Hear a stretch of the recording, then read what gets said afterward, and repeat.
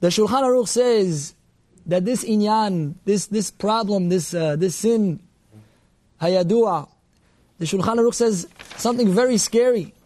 He says, the ze chamur mikol averot Torah. This is the most severe sin in the Torah. This is the lashon of the Shulchan Aruch. In Even HaEzer, Siman Chav Gimel, he says it's a very severe sin. A person has to be, uh, has to try as much as he can to break away from, from, from the, the, the immorality that surrounds him. The Zohar HaKadosh says that there's almost no teshuvah for this sin. In another place it says that there is a teshuvah.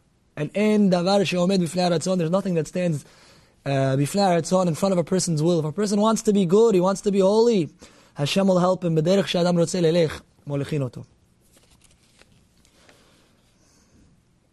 So, what do we do? How, what does this mean for us? We know that there are four, uh, four ways, four steps in doing teshuvah. The first is azivat achet, is to leave the sin. I know this is not the typical topic that one speaks about, but uh, it's kedai, I feel. I was going to speak about Parashat HaShavua, but it's kedai to be meorer a little bit in, in the Inyanek Kedusha, to grow a little bit, uh, to, to, to be meorer a person, maybe to be careful in what one sees, as we'll talk about soon.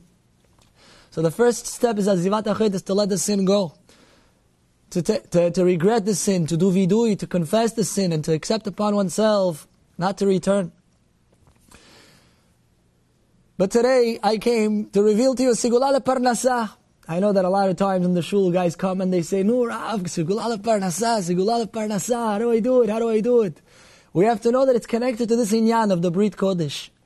It's not coincidental that Yosef HaTzadik, who HaMashbir, he was the one who used to sustain the whole Eretz Mitzrayim. It's not coincidental that he was the one who was Omed B'Nisayon in this area. You gotta know that when a person he messes up in this area, as the Gemara says, he creates Shedin Meruchin, and these become his spiritual children, so to speak, and they demand child support. They demand child support. They wanna, they sit on the, on the top of your pipe, and they suck all your shefa away. So how do you fix it? So the Arizal reveals something nice. He says the way you fix this sin, you get these spirits back is by doing Kriyat Shema Sha'alamita. Is by saying Shema before a person sleeps. The Gemara in Barachot says,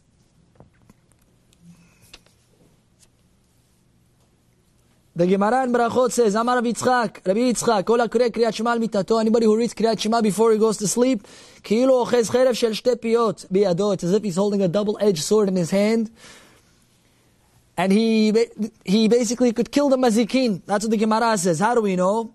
There's a pasuk. Ya'alezu chasidim bechavod. The chasidim, they will rejoice in honor. Yiranu al mishkvotam. They will sing when they're sleeping. Romemot el bigronam heref b'fiyot bi'adam. Romemot el bigronam. The exaltations of Hashem are in their throats. The heref b'fiyot bi'adam. And the sword, a double-edged sword is in their hand. When you say Shema Israel before you go to sleep, you have to know there's a double-edged sword that could kill these mazikin that you created. Our rabbis teach that you have a potential of killing 1,125 mazikin.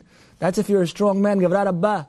You have kavanah, you say it with intent, with fervor, with concentration. Shema Israel, Hashem Elokenu. You can kill these mazikin. This is a tremendous inyan. You know, there's a Rav, he was approached by a certain man, certain businessman. He was very big in real estate. And he said, every transaction I make, right before closing, it falls through. I want to buy something, we settle on a price, we're right about to close and slips away. I want to sell a certain property, we're right about to close, slips away over and over, it keeps slipping away. So he went with this Rav to a Rav in Eretz Israel, to a holy Mekubal, a holy Rav, and he went to see him, and the Rav says to him, I don't understand, you're a married man. He says, you're a married man, but something doesn't make sense. He says, in this inyan you're lacking, something's wrong, he says. Your kiddusha, it's, not supposed to be this way. He says something's lacking. He says you should start saying Kriyat Shema Shalamita before you go to sleep with kavanah.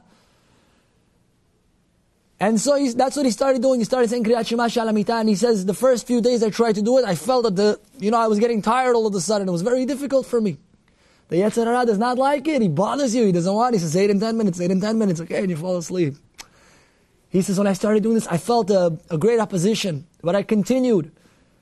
He says, and before you know it, business was booming better than ever. I was making sales, I was making buys, tremendous success. Baruch Hashem. How? Sigula parnasa, kriyat shema, she'al This is what the Ari reveals to us. the Gemara. Oh. And the Gemara continues, V'amar Yitzchak, kol hakore kriyat shema, al mitato mazikin bedelin hemeno. Anybody who says kriyat shema al mitah, the Gemara says, meforash, mazikin, the mazikin, the damaging angels, bedelin hemeno. They're badel, they leave him. They leave him be. So this is an inyan that we should all take seriously, especially in the days of Shovavim, all year round, to say Kriyat Shema Shalamita. It's preferable to do this before Chatzot Laila if one can. Chacham Ovadia Yosef, he says one should do this with Shem Malchut. You know, he proves in many, many, many, many sources that it should be done b'Shem Malchut. And even the Ben Ish Chai said that he personally wouldn't do it b'Shem Malchut for Chashashot. But even the Ben Ish Chai says in the name of the Arid that it should be done b'Shem Malchut with Hashem's name, Ata Hashem Elokenu. If one goes to sleep after Chatzot, there's a machloket in the poskim. That's not what we're here to do. Some poskim say you can do it. If I remember correctly, Chacham David Yosef says you can still do it b'shem malchut. Others, the Yaskil Avdi, etc., the Kaf HaChaim, they say that after Chatzot, one should say it without Shem malchut. But this is a tremendous advice that one can take in these days, and you'll see that the parnasat starts to increase, and you'll see that you get a better quality life, and we fix the sin that we went to Eretz Mitzrayim for. 210 years we were we were in Egypt. Why? For this sin. This is what it was. And we get to fix it how? By saying Kriyat Shema Shalamita. You've just experienced another Torah class brought to you by TorahAnytime.com.